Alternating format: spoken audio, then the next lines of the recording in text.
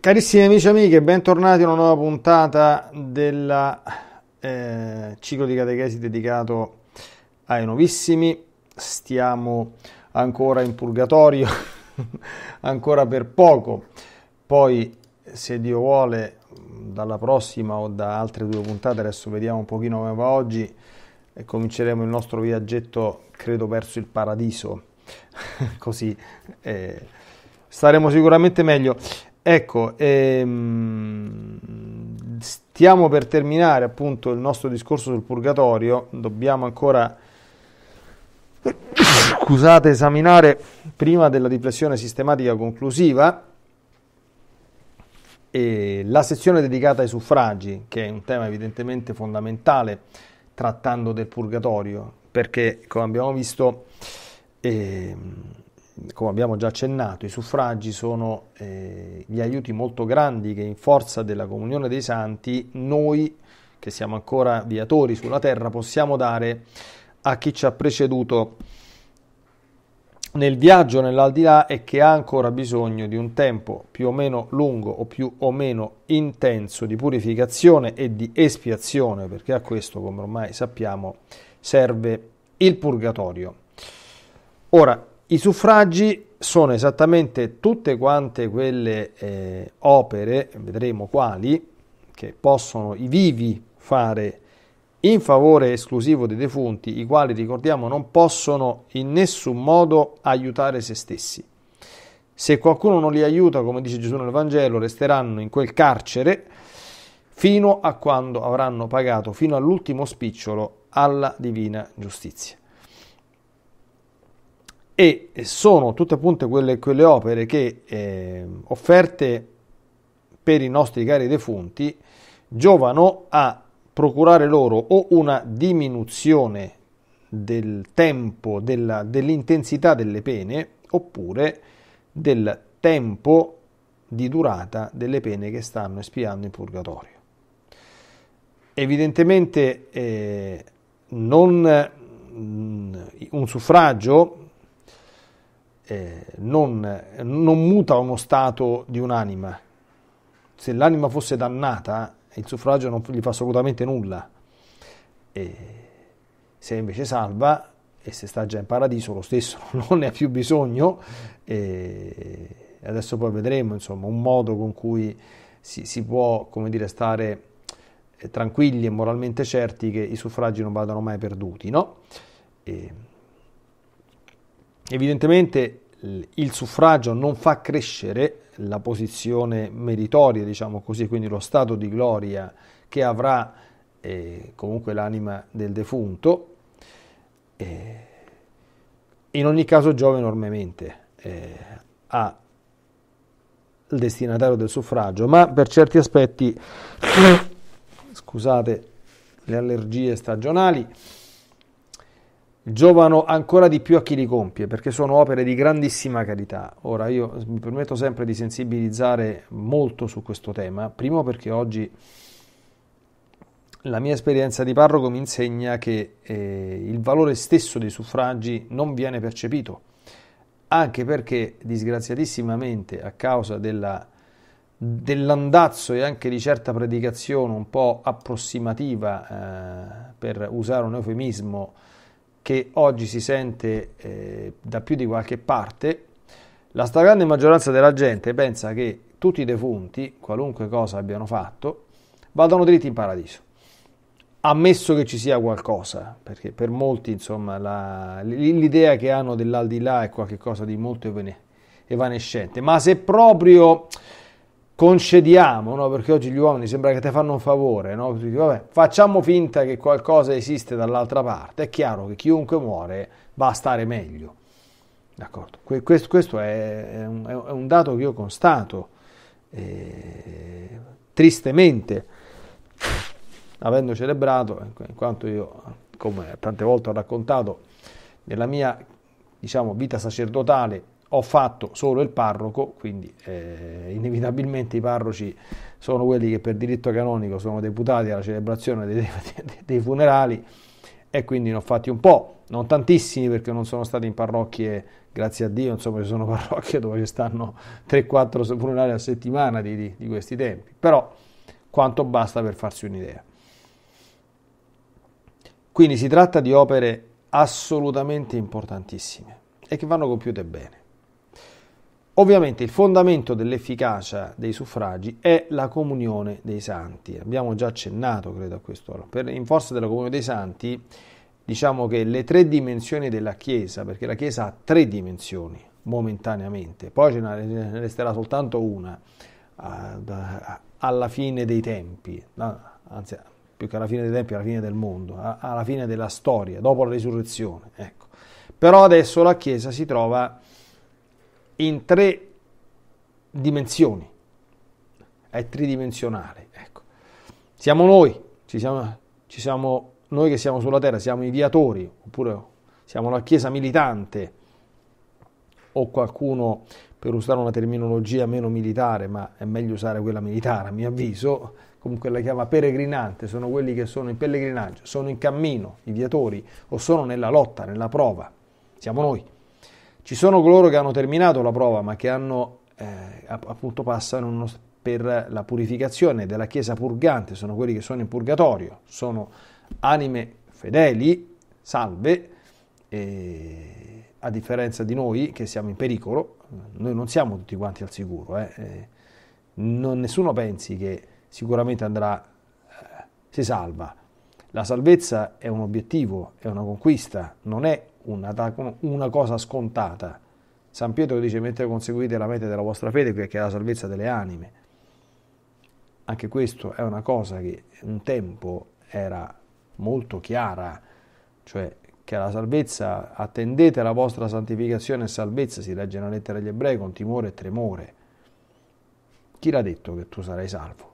Chi ha detto che io sarò salvo? Chi ha detto che io non vado all'inferno? Dio me ne scampi liberi, cioè, per carità, ma io non posso mica esserne sicuro, devo stare attento, devo stare sempre in combattimento, devo stare sempre sveglio, vigilante, come ci sorte Gesù nel Vangelo, non fare lo shock, usare tutti quanti gli strumenti, usare tutti quanti i mezzi, non fare il presuntuoso, non fare il gradasso eh, o eh, cose del genere. E poi c'è la Chiesa trionfante, che appunto quelli che hanno raggiunto la patria godono della visione beatifica e di tutti gli altri beni della beatitudine e è lo stato definitivo della Chiesa, cioè quelli che essendo viatori raggiungeranno la salvezza e le anime del purgatorio sono destinate ad andare in paradiso, tutti. E vedremo quando accenneremo, per quanto riguarda il mio modestissimo avviso, non sono solo su questo, grazie a Dio, anche le anime di coloro che stanno nel limbo, che dovessero trovarsi in quella situazione alla fine della storia, avranno la visione beatifica, però alla fine della storia. Ecco. Quali sono le relazioni tra queste tre dimensioni della Chiesa, in forza della comunione dei santi? Allora, quelli che stanno in paradiso pregano per noi e quindi ci accompagnano con, con, la loro preghiera e sono i nostri esempi e sono da noi al tempo stesso eh, pregati, perché bisogna pregare i santi, e venerati ed onorati. Chiaro? Le anime del purgatorio cosa fanno? Pregano per noi, loro pregano per noi, ma hanno bisogno delle nostre preghiere perché possono pregare per noi, ma non possono, a differenza di noi che siamo sul pianeta Terra, giovare a se stessi, non possono fare penitenza per sé, non possono meritare per sé, dipendono da noi. Noi che cosa possiamo fare? Pregare i santi del paradiso, suffragare le anime del purgatorio e seguire gli esempi dei santi, usare le indulgenze, eccetera, eccetera. Abbiamo visto la volta scorsa le indulgenze, no?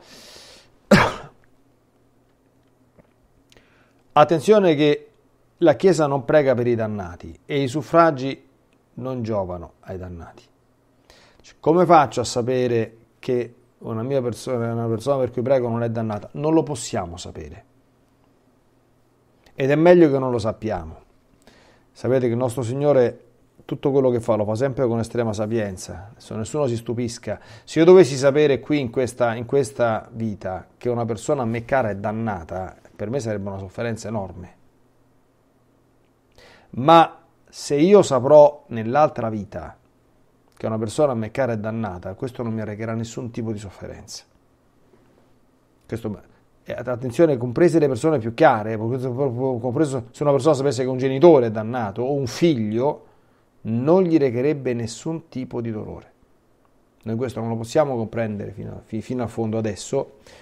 Eh, se uno vuole azzardarsi ad affacciarsi per capire, cioè è tale e tanta l'unione con la divina volontà e con la divina carità che si ha quando si entra nella beatitudine e anche la luce che si ha, che si comprende che un dannato, chiunque esso sia, si è dannato perché proprio lo ha voluto sputando sopra e calpestando l'infinita carità e il preziosissimo sangue di nostro Signore Gesù Cristo.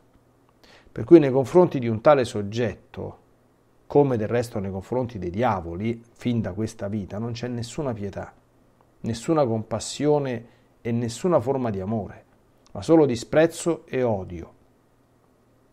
Voi sapete che nei confronti dei, dei demoni, i demoni vanno disprezzati, eh? senza proprio senza perché? Perché sono degni soltanto di disprezzo. Non possiamo e non dobbiamo, state attenti, sfidarli mai in questo mondo. Il, il, il diavolo può essere affrontato direttamente solo da chi è insignito dell'ordine sacro, cioè che può presentarsi a lui e combatterlo potendo utilizzare, in forza del ministero sacro che ha dalla Chiesa, l'autorità di Cristo. Ecco, per quanto riguarda un laico stia sempre, deve, deve, deve, deve combatterlo il demonio, nel senso che deve combattere contro le tentazioni, può pregare il Signore per le persone eh, che avessero qualche problema, può pregare il Signore che ci tenga lontano il diavolo, che ci dia la forza nelle tentazioni, tutto quello che vuole, ma attenzione a non fare gradassi col demonio, eh, perché il demonio è cattivello e, e pericoloso. Ecco. Non dobbiamo temerlo se siamo in... Eh, temerlo in maniera disordinata, ecco, se siamo nell'amicizia con il Signore, ma temerla, te, temerlo in modo eh, giusto, quindi non il terrore eh, come se fosse eh, alla, alla, a livello di Dio, però il diavolo può nuocerci, il diavolo può portarci all'inferno e, no, e non dobbiamo fare gli stupidi. Ecco. Allora, è sempre bene quando si applica un suffragio, questo, chi ha fatto la consacrazione totus tuus non ha problemi, ecco perché tutte quante le proprie opere buone vanno immediatamente applicate, vanno immediatamente donate alla Madonna e quindi la Madonna, parte, parte il fatto che se io prego per qualcuno, la Madonna prende quella preghiera e quella preghiera andrà a quel qualcuno subordinatamente ai desideri della Madonna ma se quel, qualcuno non la può ricevere perché il Signore non, non, non vuole che gli arrivi quel, quel, quel, beneficio, oppure perché non è in condizione di riceverlo, ci pensa la Madonna ad amministrarlo. Quando non avessimo fatto tale consacrazione, basta metterci l'intenzione. Quindi, se questo suffragio non andrà in porto, vada per le anime del purgatorio, vada secondo le intenzioni della Madonna.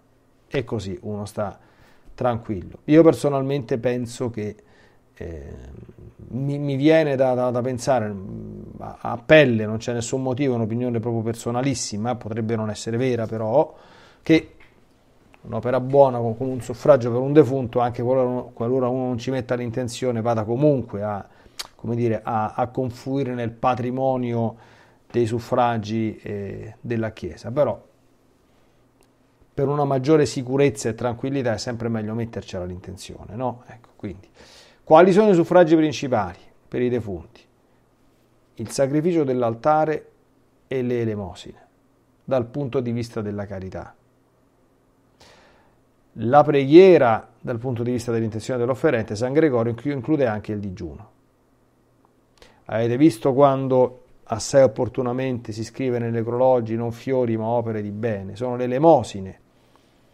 Per esempio da parroco io eh, in qualche parrocchia dove sono stato, per esempio qui eh, mi è stato detto di, di, di, di, evitare di fare questa cosa perché nella mentalità del paese potrebbe essere fraintesa, però mh, spesso durante i funerali eh, proponevo ai presenti, ecco, quindi di, di, di passare con la raccolta delle offerte e di fare un'offerta anche minima, liberamente ovviamente, con l'intenzione di suffragare l'anima del purgatorio, la, l'anima per cui si stava celebrando la, la Santa Messa. Ecco, e... è una cosa bella secondo me. E certamente piuttosto che i fiori è meglio, sapete, un fiorellino appassisce presto, è meglio un'opera di bene, è un segno di fede.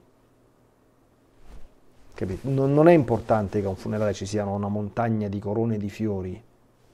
Quelle sono modalità umane, cioè io vorrei adesso un attimo eh, sensibilizzare perché oggi si fa molta attenzione e purtroppo le hanno fatte entrare anche dentro la, la liturgia alle forme umane di manifestazione di, di, di vicinanza nei confronti del defunto. Non ci sta un funerale dove alla fine del, quindi durante ancora la liturgia non si cominciano ad alzare 1, 2, 3, 4, 5 persone a fare gli elogi funebri gratuiti molte volte e molto molto umani delle persone defunte. Io ritengo sempre opportuno e cerco di, di dare questa indicazione nel senso che la messa finisce se proprio questa cosa si desidera fare, ci si sposta sul sagrato, si prende l'impianto microfonico e se qualcuno vuole prendere la parola davanti al feretro prima che parte, ma di, almeno distinguendo questa cosa, dato che sembra che sia una cosa che non si possa, adesso per una volta che una cosa entra non si può evitare, ma almeno distinguerla dalla celebrazione, almeno. Cosa che si può eh, fare mm, e ottenere semplicemente spiegando ai, ai fedeli che un conto è il rito sacro, un conto è questa parte che se proprio la desideri, anche se lo dico da prete, non lo dico ai diretti interessati perché non capirebbero sul momento, non serve assolutamente a niente, non è assolutamente gradita, secondo la mia umilissima opinione, al defunto, perché i defunti, se sono salvi, non ragionano più come ragioniamo noi, amici cari non, cioè, non stanno a pensare, oh ma che, che, bel nonno che sei stato, che mi davi tante caramelle, che eri tanto caruccio. Queste sono cose che sono importanti per noi, sono sfoghi della nostra umanità che c'ha bisogno di trovare qualche, qualche, dire, qualche scamotage per sfuggire dalla sofferenza della perdita della presenza affettiva di una persona cara. Ma al defunto non servono a niente. Solo che queste cose oggi hanno soppiantato quelle altre, cioè se fanno tutte quante queste commedie e poi spesso e volentieri, perdonatemi, ma manco la messa dell'ottava gli fanno celebrare a un defunto, manco quella, manco il trigesimo. E spesso e volentieri, se anche ci fosse l'ottava e il trigesimo, dopodiché il defunto si pensa che col due mesi se ne va in paradiso. ma quando mai? Cioè, non bastano due messe per andarsene nel paradiso, eh. figlioli miei cari, non bastano proprio. Eh. Quindi, sti funerali, eh, ahimè, quindi sarebbe il caso di qualificarli maggiormente. Un'altra cosa che io lo dico, eh, lo dico perché lo devo dire, lo dico anche in pubblico durante la celebrazione della Santa Messa, come a suo tempo, quando scrisse, mi sembra, la Sacramentum Caritatis, sì, Papa Benedetto XVI, ormai quasi vent'anni fa, no, vent'anni no, ma 15 sicuramente sì, eh, disse ai sacerdoti, mi raccomando, in occasione di funerali, matrimoni, cioè quando in chiesa affluisce gente che non ci mette mai piede, trovate il modo caritatevole, garbato è chiaro e breve di ricordare che per farsi la comunione bisogna essersi confessati. Perché sapete che succede ai funerali, no? Eh, è morto mia madre, che faccio? Non mi faccio la comunione. Magari quello non si confessa da 30 anni, o è sposato al comune, o convive. Che te fai la comunione? Cioè, non te la puoi fare la comunione, pure se è morta tua madre, se stai in queste condizioni. Perché per fare la comunione bisogna stare in grazia di Dio. Ok? Quindi immaginate che, che va a succedere. Quindi, mm, è un caos anche, anche, anche l'ambiente dei, dei funerali. Non parliamo, ho già parlato della diffusione a macchia d'olio della prassi della cremazione, che è un'altra cosa che non è assolutamente da caldeggiare né tantomeno da, da raccomandare né da minimizzare. Io ho ricevuto, dopo parlato di questa cosa qua, messaggi, mail, ma padre però io lo volevo fare così perché non abbiamo i soldi per, per l'oculo, oppure perché non è che ce l'ho qualcosa dico, senti, fa come te pare, cioè questa qua è una cosa che eh, attualmente dalla legge della Chiesa è tollerata, quindi vuoi farlo, fallo. Io ti dico che non è una cosa raccomandabile e non è nemmeno una cosa buona, è una cosa lecita adesso, d'accordo? Ma è, è diverso una cosa lecita da una cosa buona. Una cosa lecita vuol dire che non ti, non ti, compromette da un punto di vista morale. Una cosa buona è qualcosa che, che, che, che, giova a qualcosa. Quello non giova proprio a niente. A niente. A niente. Giova semplicemente, causa semplicemente la privazione di alcuni suffragi legati appunto al culto sano, diciamo così, dei, dei, dei defunti, più che culto al, appunto alla all'offerta di suffragi che viene fatto anche per la loro presenza al cimitero, le messe celebrate al cimitero, le preghiere fatte sulle tombe, l'aspersione delle, de, delle tombe con l'acqua santa, i sacramentali che si possono portare, quindi. e poi eh, il rispetto dovuto al, al corpo, diciamo così, di, di un battezzato, no? Io eviterei, cioè mh, chi di noi è vuole provare a fare il cristiano, ecco, qualifichi bene anche questi, questi momenti. No? I fiori non servono, non servono. Le, le, le, le memorie funebri non servono, assolutamente. Sono morti i miei genitori, celebrato il funerale perché io sono un prete, il vescovo, ma nessuno ha detto A a fare le commemorazioni dei, dei genitori. Guarda, si azzardavano ha fatto il funerale il vescovo, ha detto quello che doveva dire durante l'omelia, dopodiché abbiamo portato le salme al cimitero, gli ho benedetto la tomba è finito. Basta. Cioè, occorre caratterizzare queste cose in senso religioso, di fede.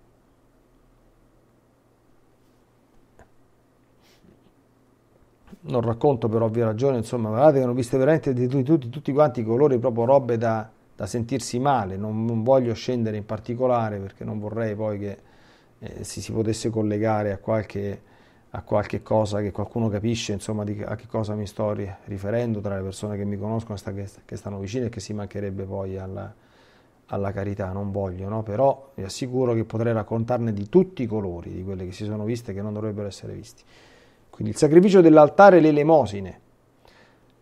Per quanto riguarda il sacrificio dell'altare, io ho già detto e lo ripeto, che quando facciamo celebrare una messa, e adesso spiego bene, soprattutto quando a questa Santa Messa si lascia una offerta, il sacerdote che accetta quell'offerta, ecco perché è importante lasciarla anche in maniera minima, perché nel momento che il sacerdote accetta un'offerta per un'intenzione di messa, lui è obbligato, sotto pena di peccato mortale, a soddisfare a quell'intenzione che ha ricevuto con una messa ad hoc, senza accumulare altre intenzioni. C'ha un anno di tempo per farlo.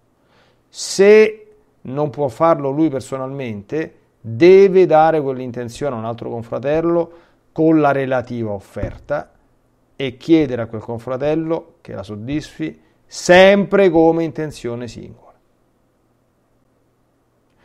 La prassi io ricordo benissimo, e lo dico, questo qui faccio nome e cognome, Monsignor Petrocchi, una volta, quando c'era lui qui, si presentò ad una riunione del clero che aveva ricevuto una esortazione dalla Santa Sede di ammonire i sacerdoti che non facessero le messe cumulative tutti i giorni, perché si possono fare per ragioni pastorali soltanto due volte a settimana, e avvertendo le persone dei giorni e del perché viene fatta quella cosa, cioè perché la parrocchia non riesce a soddisfare tutte le intenzioni, allora per un paio di giorni si cumulano. Poi spetta al buon cuore del parroco, perché se il parroco avesse un buon un cuore, allora tu hai cinque intenzioni, certamente li ricordi tutti quanti durante la messa, così tutte le persone che sono presenti sono contente di partecipare ad una messa per i loro defunti, ma si può fare così, la applichi per uno di questi cinque e per altri quattro prendi l'offerta, chiami un tuo confratello che non c'è intenzione di senti un po', mi serve una messa singola per uno, due, tre e quattro. Così hai fatto doppia, tripla opera di carità.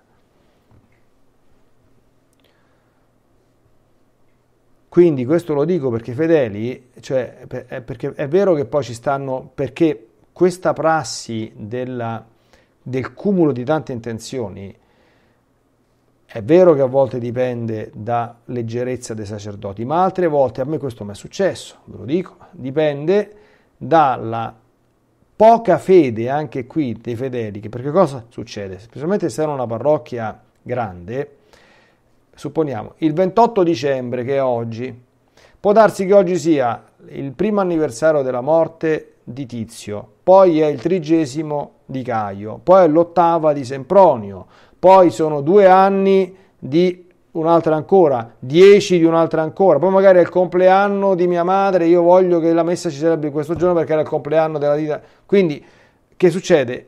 Se arrivano sette legittime richieste, il parroco può trovarsi in difficoltà perché a chi accontenta, allora se applica come deve la legge della Chiesa, se, che ne so, oggi è mercoledì, per esempio nella mia parrocchia il mercoledì è uno dei giorni che si possono cumulare le intenzioni, bene, e se no, una se ne può dire. Ma che cosa succede? Succede che ci sono certi fedeli che non capiscono queste cose e siccome sono mossi dal desiderio umano, emotivo, di sentire nominare il nome del proprio caro nella messa, non importa se ce ne stanno altri 50, ma basta che io lo sento nominare,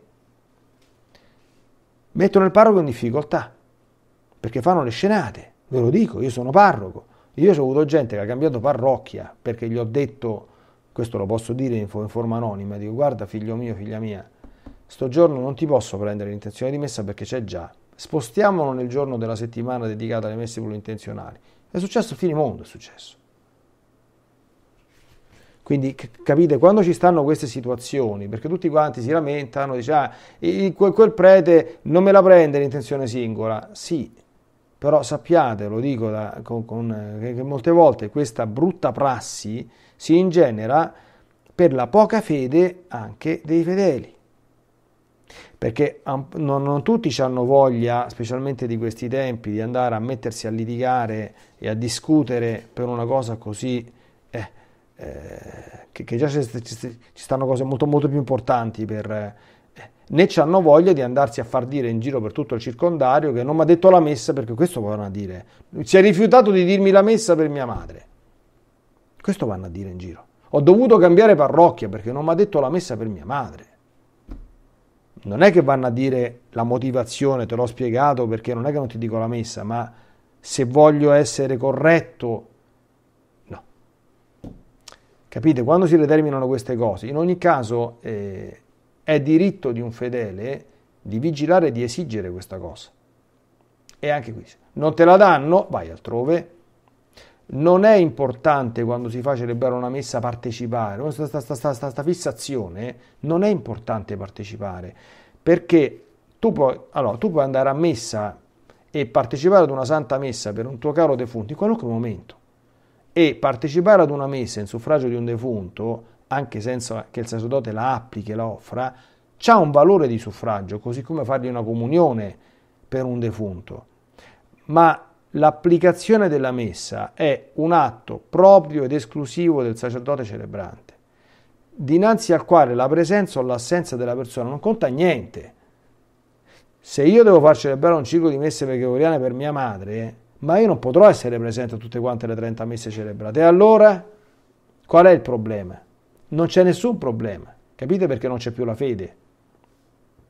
È meglio far celebrare la messa per, per il tuo caro ad un sacerdote che sta che, che, chissà dove e che tu non conosci, ma sei certo che quella messa la sta celebrando e la sta applicando per tua madre, piuttosto che andarla a sentire in parrocchia con altri 20 nomi per, dire, per la soddisfazione dire, eh, emotiva del sentirla nominare mentre che tu stai, che tu stai partecipando a, que, a quella stessa messa.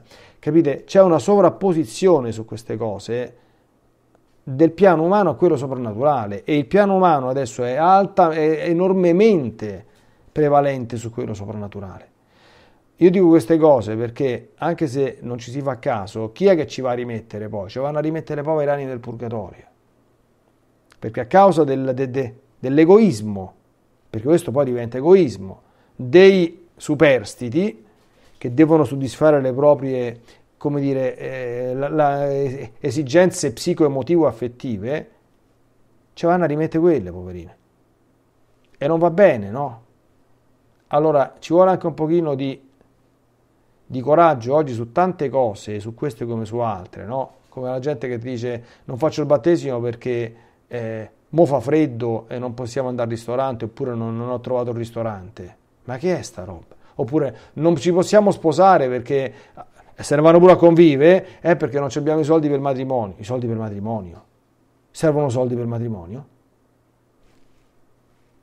Io non ho mai chiesto un centesimo neanche per la chiesa d'arte, mai si vuole lasciare un'offerta la lascia. Sapete quanto costa il matrimonio? Eh, 16 euro di marca da bollo per quanto riguarda le pratiche della Chiesa che servono purtroppo per il certificato cumulativo di stato libero che bisogna darlo al parroco dalla parte dello sposo e della sposa. Fine delle spese del matrimonio. Ah, in alcune curie 5 euro di contributo, non, non in parrocchia, alla curia per la gestione della pratica matrimoniale. Totale 16 euro più 16 fanno 32, più 5 fanno 37 euro. Fine dei costi del matrimonio. Questi sono i costi del matrimonio. Non dico che non sia una cosa, per carità, le circostanze di festa, se uno fa la festa non c'è nessun problema, viva Dio, non sto dicendo che non bisogna fare pranzi matrimoniali, ma non è la cosa più importante. Io conosco persone che hanno fatto una cosa molto molto soft, viaggi di nozze alternativi, tipo in, in, in luoghi santi, non sono cose obbligatorie, però capite, no? Cioè, tra il rimandare il matrimonio perché non c'è soldi per fare il pranzo e al limite, siccome lo devo rimandare, conviviamo prima un po', poi tanto poi ci sposeremo, e invece andare dal prete andiamo io, te, e quattro testimoni e facciamo il matrimonio, qual è meglio delle due? Qual è meglio che, che aspettiamo dei, dei sette mesi per il battesimo perché devo prenotare il ristorante e perché il padrino non sta comodo o che lo faccio subito e non fa niente pranzi, cene e colazioni? Cosa è meglio? Che faccio celebrare una messa come Dio comanda e io non ci posso andare oppure che devo sentirmi il nome? Cos'è meglio che durante il funerale ti metti a fare la, la, seconda, la terza, la quarta predica umana-umana per fare la commemorazione umana del defunto, oppure che facciamo una preghiera in più e che lo accompagniamo fuori dalla chiesa decentemente, lo accompagniamo al cimitero, magari chiediamo al sacerdote che ci accompagna, se non lo fa ci viene a benedire la tomba e ci santifica anche l'ultimo atto della sepoltura. Sono tutte quante cose a cui bisogna fare attenzione, a mio modestissimo avviso oggi. Perché sono le cose di fede quelle che sono importanti per noi, perché ripeto, qui chi, chi ci va di mezzo sono le povere anime del purgatorio, a spesa di questa umanizzazione e banalizzazione anche della morte. Ecco, poi non parliamo insomma anche delle nuove, delle nuove eh, formule ecologiche eh, de, del rito delle, delle esequie, che io capisco che durante le esequie occorra dare, occorra aprire i cuori delle persone alla speranza, per carità, perché la morte non è la fine di tutto. Siamo nella speranza della salvezza e della risurrezione. Questo certamente deve essere presente all'interno del rito. però non troppo. Anticamente, durante le esegue, si, si, si, si eseguiva la, la sequenza di Essire, che ricorda che c'è un giudizio severo a cui tutti quanti dobbiamo sottostare al momento della, della morte. C'erano preghiere dove si invocava umilmente la salvezza della, della persona, lo scampare dal, dal, dall'inferno, i suffragi, sono tutte quante scomparse nel, nel, nelle attuali formule ecologiche queste, queste cose. Ah, questo non ci fare niente purtroppo, però possiamo e dobbiamo riqualificare questi momenti, a mio avviso, in chiave fortemente polarizzata sulla dimensione della fede, che è la più importante.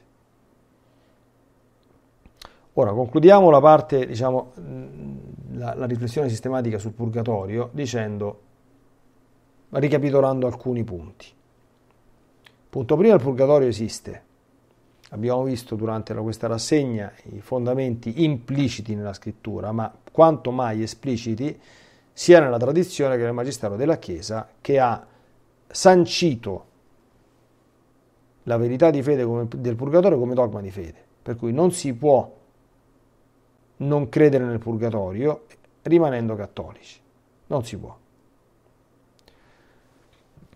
Negarne in tutto o in parte l'esistenza significa quindi porsi al di fuori della comunione con la Chiesa, ossia, detti in termini più prosaici, cadere nell'eresia, essere eretici.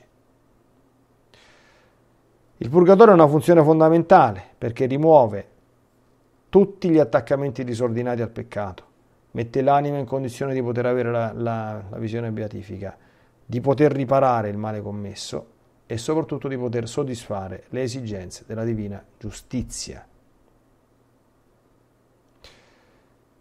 Il purgatorio è uno stato temporaneo, le anime del purgatorio sono sante, certamente, ma ancora bisognose di purificazione. Stato temporaneo, ma in quanto le anime sono salve, e questo lo sanno loro, sono destinate al paradiso. Oh, nel purgatorio, come abbiamo visto, si soffre sia la pena del danno che la pena del senso. E qui adesso vorrei aprire una piccola, una piccola parentesi conclusiva su alcuni dati che ci provengono dal mondo dei santi e dei mistici.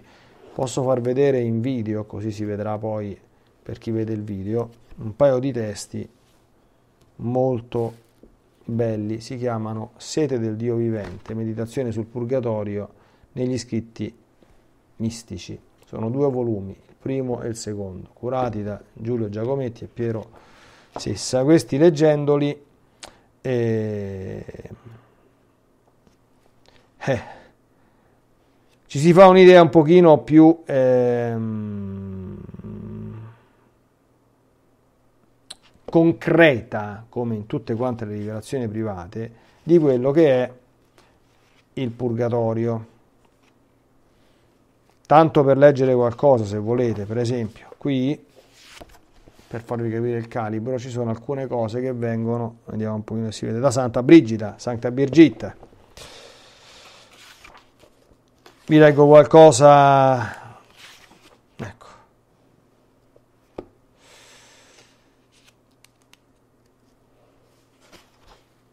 Vabbè, il primo che, che, mi capita non è che, che, che ho in qualche modo segnato. Parole dell'angelo alla sposa sull'applicazione della pena all'anima giudicata da Dio nel precedente capitolo e sulla remissione della sua pena perché prima della sua morte perdonò i nemici. Un'anima è nella gravissima pena del purgatorio dove non intende se verrà alla requie dopo il purgatorio se sia dannata. Attenzione a questo particolare. Soffre nel fuoco e nel freddo e accecata dalle tenebre e dalla vista dei demoni, ma non è al loro contatto. L'angelo le spiega la visione. Sentite, eh, perché questo qui si introduce anche a... L'angelo parla dicendo, quell'anima della quale hai visto la collocazione udita la sentenza sta nella pena più grave del purgatorio. Ciò, ciò è dovuto al fatto che ella non sa, attenzione, se giungerà alla pace dopo il purgatorio sarà dannata. Tenete presente, c'è, un luogo, c'è una, c'è una parte del purgatorio, che è la parte più bassa, adesso poi cercherò di, di, fare una piccola descrizione da quello che sappiamo dai mistici, perché sappiamo qualcosa, di come è fatto sto purgatorio. Nella parte più bassa, questi sono i grandissimi peccatori, l'anima non sa se è salva. Quindi sta nel purgatorio, quindi Dio lo sa che è salva, ma lei non, non ne ha la certezza.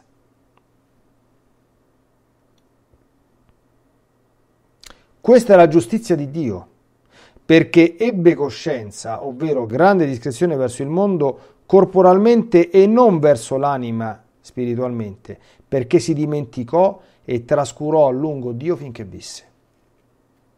Si tratta di un'anima, quella che sta in questo stato, a cui la giustizia di Dio l'ha destinata perché? Perché si è preoccupata delle cose materiali e non di quelle spirituali e perché ha dimenticato e trascurato Dio a lungo finché visse. Quindi adesso la sua anima soffre l'ardore del fuoco e rabbrividisce per il freddo è cieca per le tenebre ed atterrita dalla orribile vista dei demoni, assordata dal clamore del diavolo, affamata ed assetata dentro e vestita con confusione fuori. Qui si parla sempre del, del punto più basso del purgatorio, dove insieme alla non coscienza della salvezza, vedete, si hanno delle pene simili a quelle dell'inferno, freddo e caldo, tenebre e vista dei demoni addirittura, assordata dal clamore del diavolo. Quindi questo è il punto più basso del purgatorio, non è tutto così, grazie a Dio, eh? però comprendiamo, io tempo fa feci, feci, feci una catechesi, che il purgatorio non è una sala d'aspetto e non possiamo essere leggerini e sciocchi. Certamente le anime che vanno in purgatorio andranno in paradiso un giorno, ma insomma eh, non è tanto, tanto, tanto leggero passare per una condizione come sta poraccia che sta in questo stato, o no? Tuttavia Dio le diede una grazia dopo la morte di non essere toccata dai diavoli.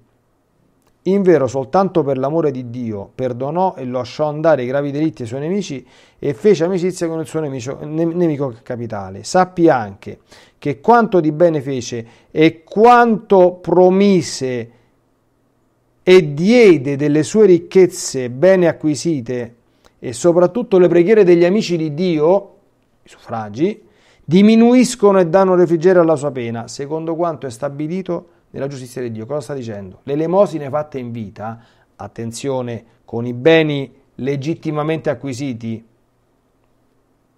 e i suffragi delle persone care, danno, diminuiscono e danno refrigerio, vedete? Quindi alla pena. La diminuzione della della durata temporale e la diminuzione della intensità e quindi della sofferenza che dà la pena. Tutti gli altri beni acquistati, meno bene donati spiritualmente, sono giovevoli a quelli che li possedevano giustamente in antecedenza e corporalmente sono degni secondo la volontà di Dio. Allora, attraverso questo passaggio preso a caso, qui comunque ci stanno tantissime cose belle Guardate che eh, vi dico soltanto alcuni, alcuni, santi e mistici che intervengono qua. Eh, qui ci sono, per esempio, San Pio de Petelcina, riconoscenza delle anime liberate dal suo stato di vittima, Josefa Menendez, messaggi dal purgatorio, Lucia Mangano, Maria Valtorta, Teresa Neumann, Alexandrina Maria da Costa, Santa Faustina Kowalska, Suor Beghe, Maria Simma, Natuzza Evolo, che tra l'altro quando sono stati redatti questi libri erano ancora viventi, San Paolo della Croce, San Luigi Maria Grignon da Monforte, Santa Veronica Giuliani, Anna Caterina Emmerich, tra, Santa Teresa di Gesù Bambino, Santa Gemma Galgani, e questo è il secondo volume, eh?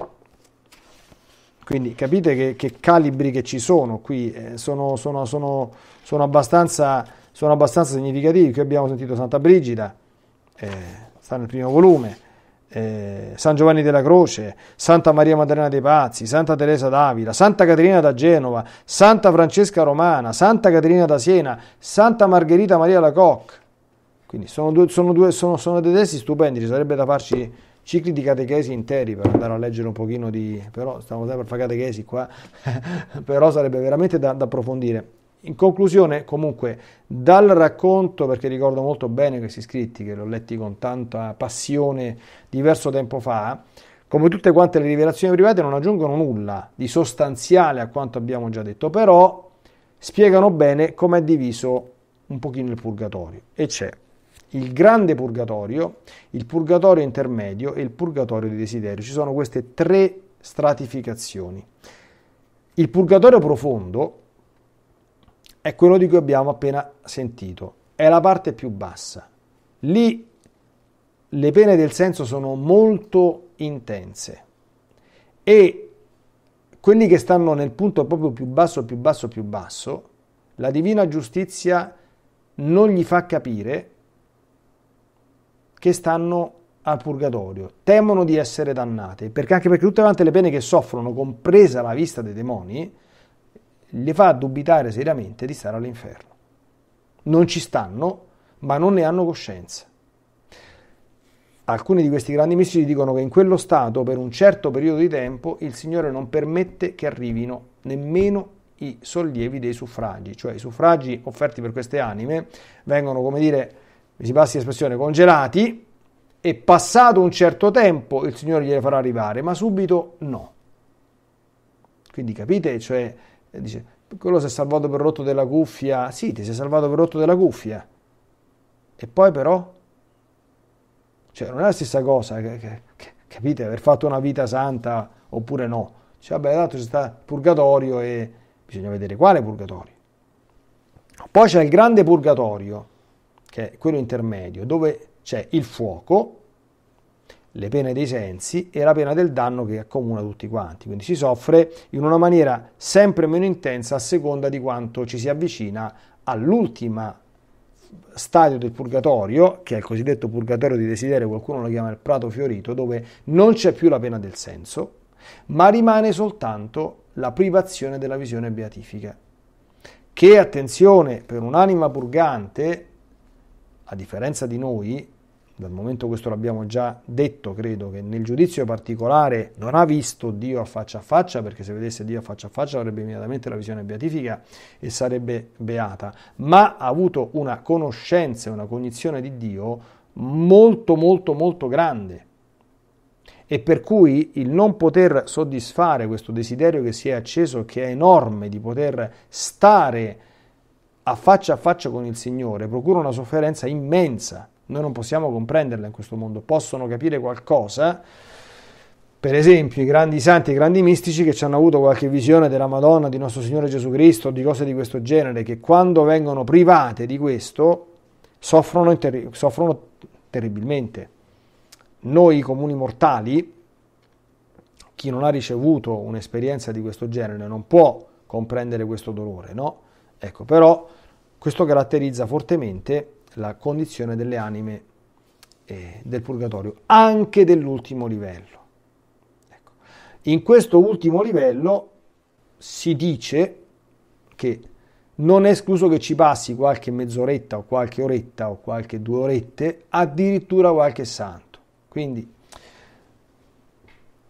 a conclusione di questo discorso, ricordiamo sempre una cosa, eh, perché io non, non, allora, non, non, mi diverto affatto evidentemente a dire queste cose, perché queste riguardano anche me, perché ci vado pure io in purgatorio. Eh, speriamo, speriamo che, che già quello sarebbe un grande traguardo. Non mi diverto affatto, ma dobbiamo sempre ricordare, prima di dare gli attestati, quello è un santo, oppure le cose che io veramente non, mi, mi fa male sentirli eh, mio padre sta in paradiso. Ma chi te l'ha detto che sta in paradiso? Eh, quell'altro è volato al cielo, adesso quello sta in cielo. Ma chi te l'ha detto che sta in cielo? Ma ripeto, io non è che voglio dire queste cose per mandare la, la gente in tristezza o per... ma perché mettetevi dalla parte dei, dei defunti. No? Voi pensate quanto è contento un defunto che magari si trova nel purgatorio più basso che quelli che stanno sulla terra pensano ma quello sta in cielo sta. E quindi che devo fare? Rosario per lui? Ma quando mai? Non mi passa neanche per l'antica tanto quello sta in cielo sta. Che devo pregare per lui? Gli faccio dire una messa. Ma no ma era tanto bravo che bisogna c'era delle messe? Ma quello sta in paradiso ma che problema c'è? Ma quanta gente pensa a queste cose? Eh, allora io purtroppo devo, devo, fare il grillo parlante, quindi diventare un pochino antipatico, eh, sicuramente, per dire, ragazzi, in paradiso sicuramente ci va un bambino battezzato prima che, che acquisisce l'uso della ragione, un martire, 100%, e probabilmente, quasi certamente, questo ha letto Gesù nel Vangelo, chi pur non essendo martire muore donando la vita per un proprio amico, per un proprio fratello, che ne so, una persona che eh, muore per salvare un'altra, cioè c'è un incendio, io entro, se fosse stato un bambino, eh, vado per salvare il bambino e rimango bruciato dalle fiamme. Eh, ma fuori di questi casi che sono abbastanza circoscritti, guardate che un santo canonizzato non è affatto escluso che sia passato in purgatorio, eh, anche se è stato canonizzato. Perché un santo canonizzato che ha praticato le virtù eroiche non è detto che pur avendo praticato le virtù eroiche sia giunto ad un grado di purificazione perché un grande santo che ha insegnato di grandi grazie da parte del Signore, è, a quello il Signore gli chiede tanto. Una minima imperfezione non è tollerata da, da, da Dio in uno che ha ricevuto così tanto e richiede una purificazione superiore. Quindi non è affatto detto che pur avendo praticato le virtù eroiche, aggiunto al termine della vita, sia già completamente in grado e pronto subito ad avere la visione beatifica. Cioè non ci sostituiamo all'Altissimo, non ci mettiamo a fa- né a Santa Madre Chiesa. I processi di, can- di canonizzazione li fa Santa Madre Chiesa e il giudizio particolare lo fa soltanto nostro Signore. Se San Paolo dice io non posso giudicare nemmeno me stesso, noi non possiamo giudicare noi stessi, perché anche se non siamo consapevoli di colpa alcuna, non per questo siamo giustificati, ma figurati se mi posso mettere a giudicare una persona che, che, che comunque io non, cioè, era mio padre, era, era mia madre, ma tu sei, sei, sicuro di conoscere il cuore di tuo padre e di tua madre? Che ne sai che, che ne so, tuo padre non tradiva tua madre, tua madre? Che ne sai? O viceversa? Bisogna essere preti per, per, per, per sapere che spesso e volentieri dietro apparenze di persone anche splendide, eh, se poi senti la confessione, eh, cioè certo che è una persona splendida, ma non è senza peccato. E allora? Che ne sai tu? Che tuo zio, tua nonna non ha fatto peccati mortali molto molto gravi. Che ne sai? Che eri presente eh, minuto per minuto tutta la vita che, che ha fatto. Quindi rimaniamo sempre, voliamo sempre bassi, stiamo sempre cauti.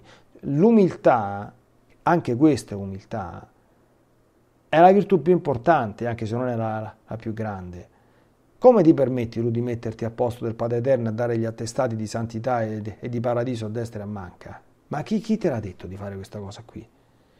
E quale vantaggio questo apporterebbe? Vantaggio apporta come sempre Cosa c'è dietro questo processo? La nostra esigenza di, eh, come dire, di, di, di, calmarci, di trovare un sollievo psicologico ai nostri problemi irrisolti col tema della morte e quindi con la perdita delle persone care.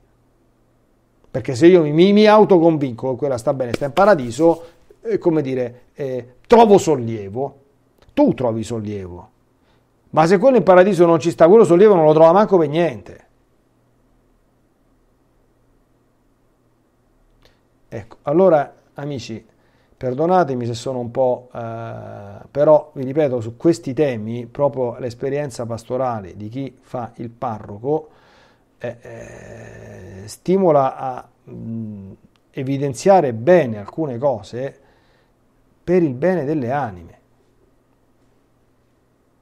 per il bene delle anime.